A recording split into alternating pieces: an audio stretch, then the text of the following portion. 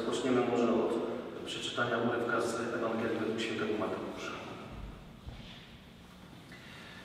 Z narodzeniem Jezusa Chrystusa było tak.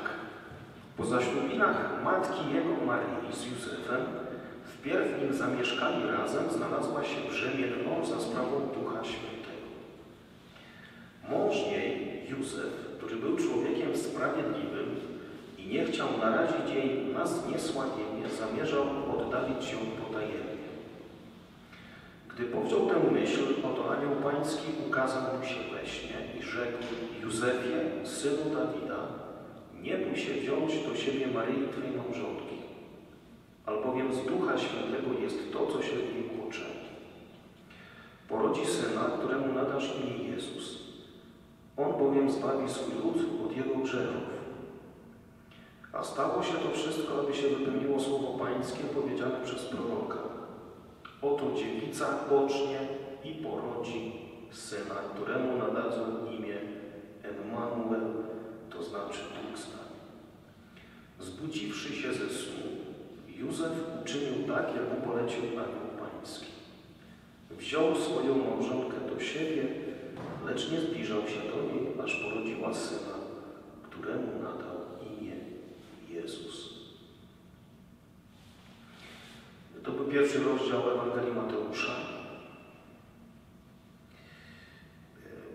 Zachęcam Was do tego, abyśmy razem przyjrzeli się naszej wierze, mając przed oczami, oczami postać y, świętego Józefa. W świetle tej Ewangelii. Ponieważ zwiastowanie Józefowi jest y, odpowiedzią na to, na czym polegała jego wiara. Widzimy, że wiara nie polega na przekonaniu, że Bóg istnieje. Zresztą w Biblii, w Izraelu nie znajdziemy człowieka, który byłby przekonany, że Boga nie ma. A przecież prorocy cały czas, raz po raz mówią narodowi wybranemu, że jest niewierzący. U Jakuba na przykład mamy też takie słowo w liście. Wierzysz, że jest jeden Bóg, słusznie czynisz. Lecz także i złe duchy wierzą i drżą. Przyjmować, że, że Bóg istnieje, to, to, to za mało jest. To jeszcze nie jest e, głęboka wiara. Szatan też wie, że Bóg istnieje. Więc co to jest wiara? Jaka jest wiara Józefa?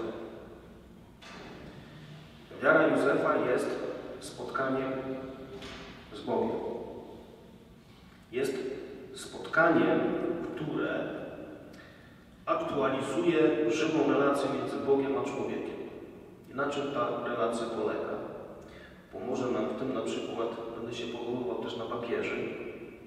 Okazuje się, że papieże ostatni bardzo mocny, mocny kult mają świętego Józefa. Na przykład Jan Paweł II Redemptoris Custos odnosi do Józefa słowa Soboru Watykańskiego II z Konstytucją o objawieniu Dei Verbu, gdzie czytamy takie słowa. Bogu objawiającemu się należy okazać posłuszeństwo wiary, przez które człowiek z wolnej woli powierza się Bogu, okazując pełną uległość rozumu i woli wobec Boga. Na czym więc polega wiara Józefa?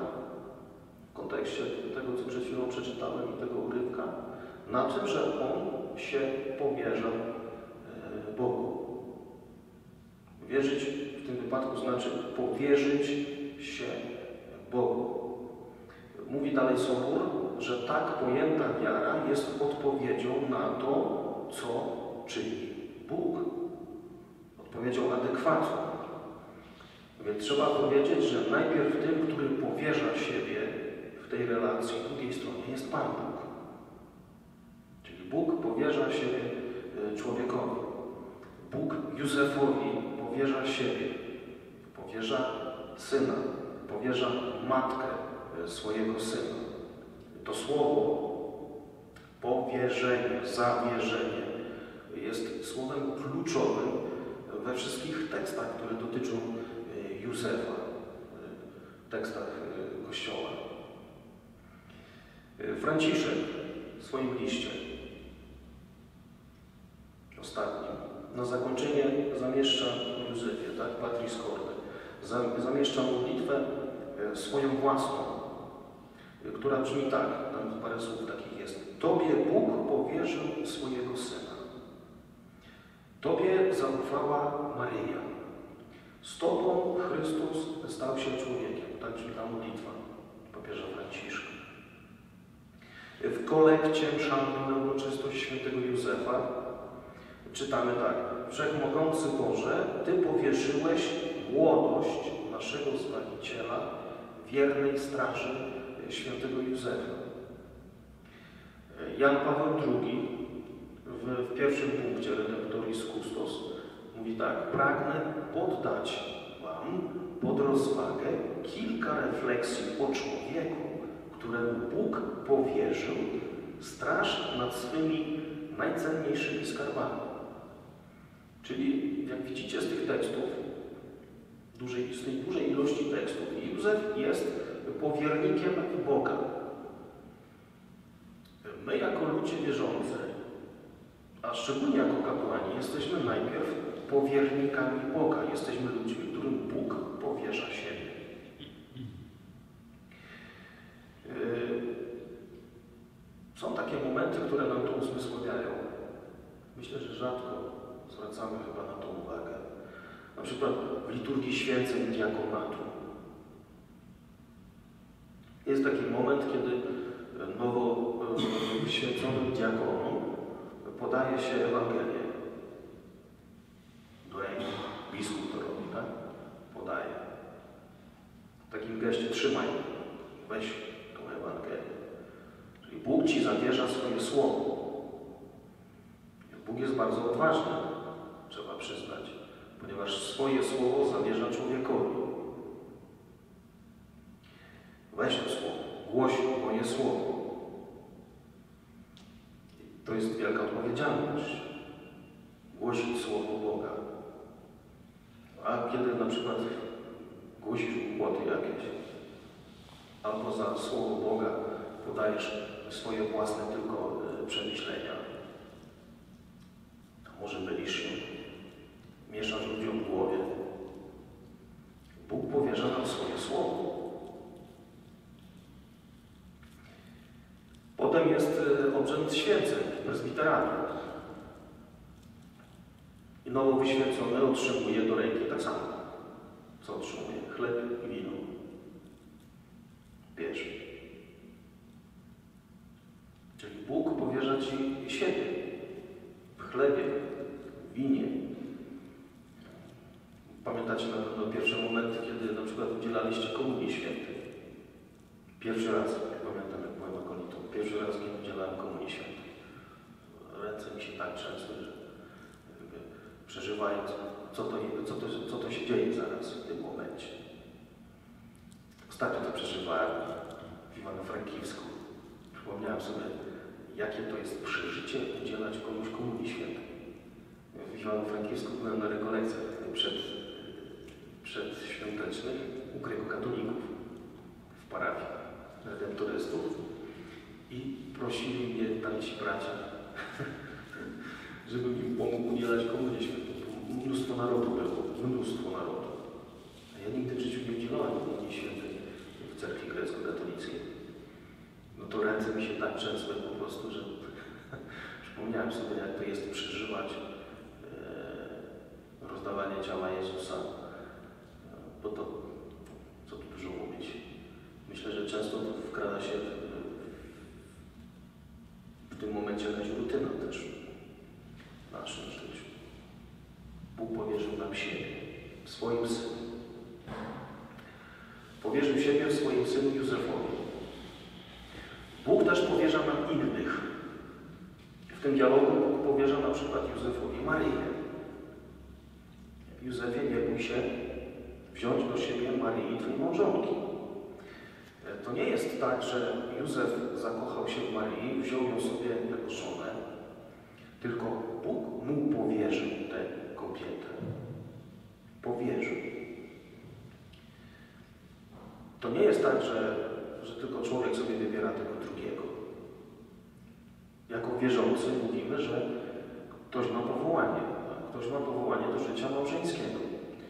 To znaczy, że widzimy tę drugą osobę jako moją żonę, mojego męża, jak tych, kogo Bóg mi powierzył. Bóg mi powierzył. I relacja do mojego męża, do mojej żony, jeśli chodzi o naszych powierzonych nam parafian, jest też relacją do Boga. Bóg powierza mi człowieka. Biskupowi Bóg powierza całą diecezję. Proboszczowi powierzeni są wszyscy parafianie. Sprawuje nad nimi pieczę duchową. Bóg powierza nam ludzi. Więc wiara jest relacją do Niego i wiara jest relacją do ludzi. Ale jest też odpowiedzią na to e, powierzenie. I dlatego, że Bóg nam powierza siebie, moja odpowiedź i Twoja odpowiedź jest powierzeniem siebie Bogu. A to nie jest intelektualna akceptacja tego, że Bóg istnieje.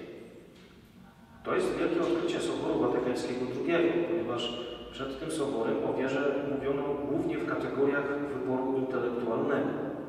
Czyli wierzyć to znaczy przyjąć te prawdy, które Kościół podaje do wierzenia. Taka koncepcja ona jest, powiedzmy, bardzo statyczna i intelektualna. Zredukowana jakby do odpowiedzi rozumu.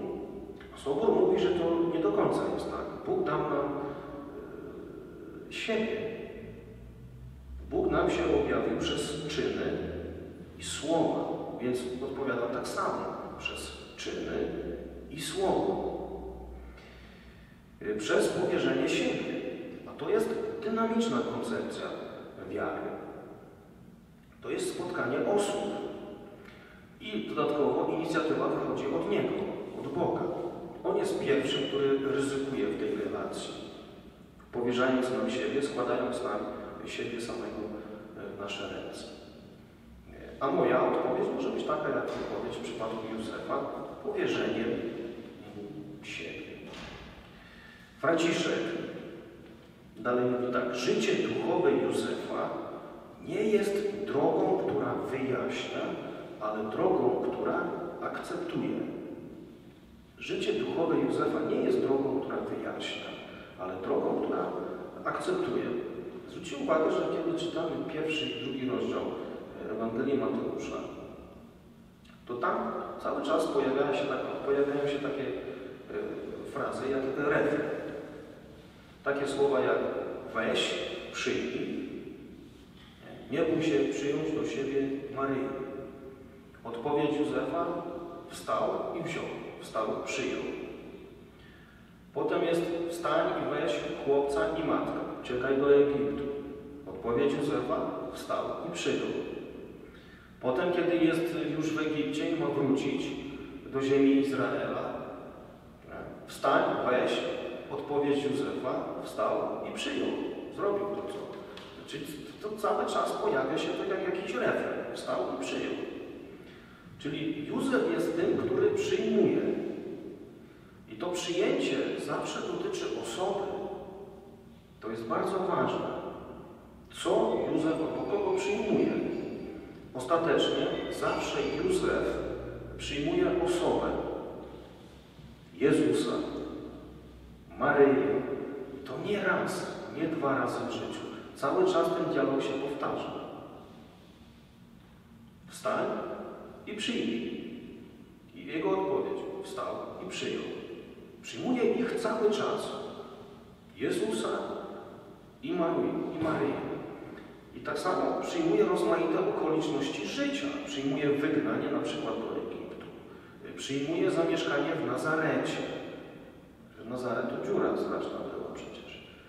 Robi to, bo przyjmuje Maryję i przyjmuje Jezusa, jej Syna. dlatego, że przyjmuję Boga, bo Go kocham, czy człowieka, bo Go kocham, to mogę też przyjąć różne okoliczności, które wcale mnie nie cieszą. Ten Nazaret, ten Egipt, czyli te okoliczności, których normalnie byśmy nie chcieli. E, Przez to, że przyjmuje Józef Maryję, przyjmuje Józefa, godzi się na tamto wszystko. Czyli Józef akceptuje Boga i Maryję nawet w sytuacji, kiedy y, okazuje się inną niż mu się zdawało. No, Wybrał Maryję jako swoją ulubienicę, ale ona podjęła decyzję, że będzie matką Boga wcielonego i, i nie pytała go o zdanie. I pytanie, przyjmiesz ją, przyjmiesz jej syna. Józef e, akceptuje Boga, który się okazuje inny. Tak bardzo często się dzieje, prawda? Akceptować ludzi, na przykład, którzy okazali się inni niż byśmy się spodziewali. Taka akceptacja to jest potężne męstwo i wielka miłość. Franciszek mówi tak, papież, o akceptacji Józefowej. Józef nie jest człowiekiem zrezygnowanym, jego uczestnictwo jest mężne i znaczące. Akceptacja jest sposobem, w jaki przejawia się w naszym życiu dar męstwa, której otrzymujemy od Ducha Świętego. Józef nie jest człowiekiem zrezygnowanym. No dobra, już tak to wszystko się potoczyło, tak to Bóg wymyślił, to niech już będzie. No, trudno, co ja mam do powiedzenia. No, nie tak wygląda reakcja Józefa. Nie jest człowiekiem zrezygnowanym. On jest mężny w, tym, w tej decyzji. I abym akceptował, muszę być mężny. I mężny nie jak superman, tylko mężny na sposób Ducha Świętego. To jest akceptacja tego, czego nie wybraliśmy, ale to jest, ale to istnieje. Ile razy w życiu spotyka mnie to, czego się nie spodziewałem, czego nie chciałem, ale to po prostu jest. Na przykład przeżywanie świąt. W tamtym roku będziemy, będziemy zrezygnowani, zniechęceni tym, pamiętacie jak na tym roku były święta. Ja to w ogóle miałem, nie miałem święta. Jest COVID, jest pandemia. I jakoś trzeba przeżyć święto, tak? Całe Triduum Paschalne. Wejść w te wydarzenia, najważniejsze wydarzenia. Myśmy tego nie wybrali, ale to jest. Ja Triduum Paschalne przeżywałem w pokoju. W, w tym. U braci w klasztorze. W Polsce. Po powrocie z rekolekcji. Całe Triduum. Nawet nie byłem z braćmi tutaj, też pokrojony, to wszystko wiadomo, jak to wszystko wyglądało. E, w pokoju. W izolacji byłem. I czwartek, i piątek, i sobota, i niedziela, i całe święto spędziłem w pokoju. Nie wybrałem tego, ale to jest. I całkiem ciekawie i mocno, nawet bym powiedział głęboko, to się przeżyłem. W samotności przeżyłem całe Triduum Paschalne. W takich sytuacjach albo będzie we mnie rezygnacja, albo będzie Józefowa akceptacja, która daje sens i nadzieję. To jest wiara Józefa. To jest wiara Józefa.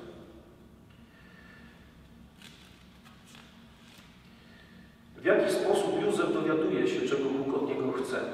Czyli w jaki sposób Bóg wchodzi w te relacje z Józefem? Można by było powiedzieć, drogi Boga do nas. Mamy tu parę, parę rzeczy, parę punktów w tym, w tym tekście krótkim, w tym zwiastowaniu Józefowi. Pierwsze, pierwsza droga jakby to jest prawo, religijne. Józef był człowiekiem sprawiedliwym i prawym. Postępuje zgodnie z prawem. W ósmy dzień obrzeza Jezusa nada mu imię, bo tego wymaga prawo. W czterdziestym dniu pójdzie do świątyni, bo tego wymaga prawo. Złoży w ofierze dwa gołębie, bo tego wymaga prawo. Co roku chodzi do Jerozolimy na święto Paschy, bo tego wymaga prawo. To jest wiara Józefa. Słucha Boga, który się objawia w prawie, przykazania. A te przykazania są wykładane, interpretowane pośrodku ludu, pośród ludu, czyli w kościele, można powiedzieć. I dzisiaj o tym wymiarze wiary trzeba mocno mówić. Prawo, Kościół. Druga rzecz ciekawa, sen. W tym tekście usłyszeliśmy, usłyszeliśmy, że ukazał mu się anioł pański we śnie. Ale to nie jest jedyny raz, kilka razy.